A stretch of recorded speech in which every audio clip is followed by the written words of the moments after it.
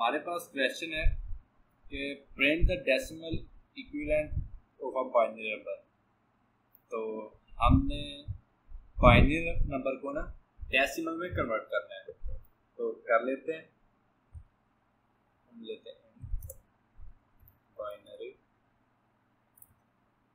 Screen लेंगे binary okay तो कर लेंगे वाइल लूप हम चला लेंगे। कब तक वाइल लूप चले? जब तक बाइनरी ग्रेटर देन ज़ीरो है। ओके तो इसमें हम करवा लेते एक वैसे हम वेरिएबल ले लेते हैं। एक ले लेते हैं हम लाइक डेसिमल ले लेते हैं। तो कर इक्वल टू ज़ीरो कर देते हैं। और एक टी ले लेते हैं। टी लिया कि हम मल्टीप्लाई जो करेंगे मतलब पहली बाइनरी वन से मल्टीप्लाई होगी, दूसरी टू के साथ, उससे बाद four eight sixteen thirty two इस तरह। तो उसके लिए हमने टी ले लिया।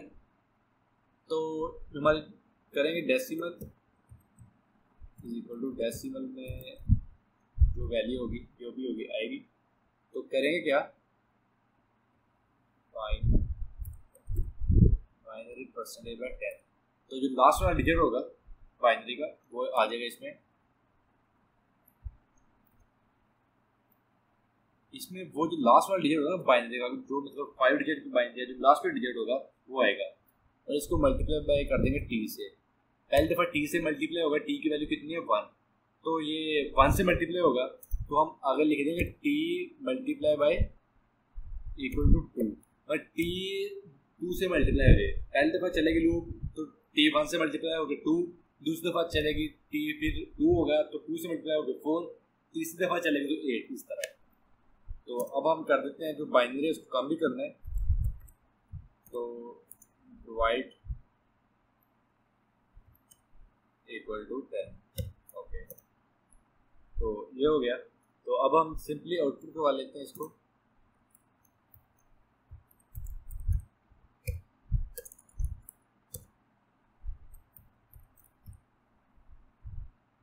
वैल्यू दे देते हैं। लाइक हमने वैल्यू दी one zero zero one zero हमारे पास एट टू करवा देगा मतलब एंड लाइन लिख देते हैं।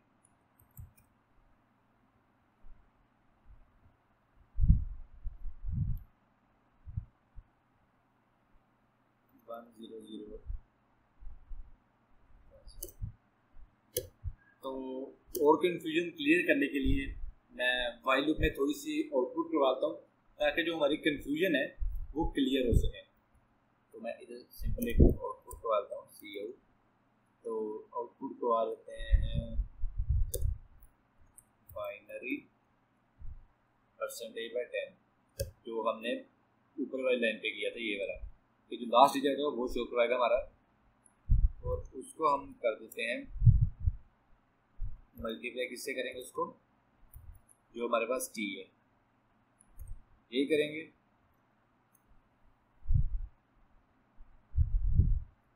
और हमारे पास वैल्यू होगी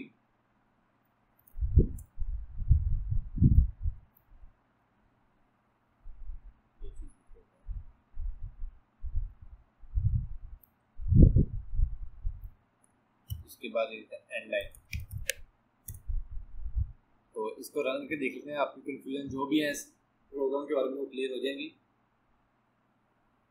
One zero zero one zero तो पहला जो था हमारे पास बाइनरी और मॉडलस टेन जो था, उसका इसने आंसर दिया है, हमारे पास ज़ीरो तो उसको टी टी हमारे पास पहला क्या था? वन और ज़ीरो को वन से मल्टीप्लाई किया ज़ीरो फिर उसके बाद जो अगला डिजिट था, ये ख़त्म हो गया। इसने ख़त्म कर दिया binary divide equal to ten में। तो ये वन ज़ीरो ज़ीरो वन रह गया। तो वन को मल्टीप्लाई अब किया टू के साथ। अब जो टी था, वो टू से मल्टीप्लाई हो चुका था इधर। तो टू से मल्टीप्लाई टू हो गया।